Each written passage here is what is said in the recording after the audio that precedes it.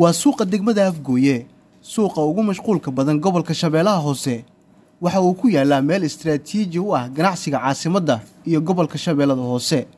Maalin waliba dad aad u fara badan ayaa u ganacsi taga. Waxaa laga soo raraa gaadiidka xamuulka ee lagu soo qaado dalagyada ka baxa gobolka shabeellaha hoose.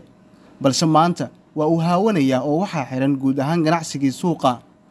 Guud ahaan qaybaha uu ka kooban yahay suuqa ayaa xihan kadib markii ganacsatada ay go'aan ku gaareen inay xidhaan sababo la xidhiidha shakhsiyaad ku muransan lahaanshiyaha suuqa ariga ee degmada afgooye.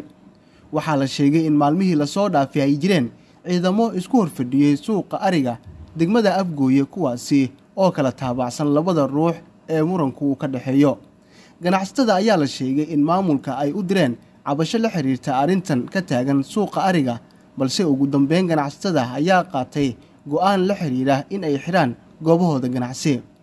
Sidoo kale waxaa jirta cabasho ay qabaan ganacsatada suuqa degmada afgooye ee gobolka shabeellaha hoose taasi oo ku aadan in ay jiraan kooxo abaabulan oo afduubta dadka u soo ganacsi taga suuqa kadibna ku soo daaya madax furasho iyaga oo lacago ka qaadanaya. Xaaladda suuqa waa mid kacsan oo waxaa xihan dhammaan goobihii ganacsi taasi oo keentay inuu gaabis ku yimaado dhaqdhaqaaqii ganacsi ee suuqa degmada afgooye suuqan ayaa leh qaybo waaweyn oo lagu iibiyo qudaarta noocyadeeda kala duwan badarka oo ka mid ah dalagyada gobolka shabeellaha hoose iyo qaybo lagu iibiyo xoolaha.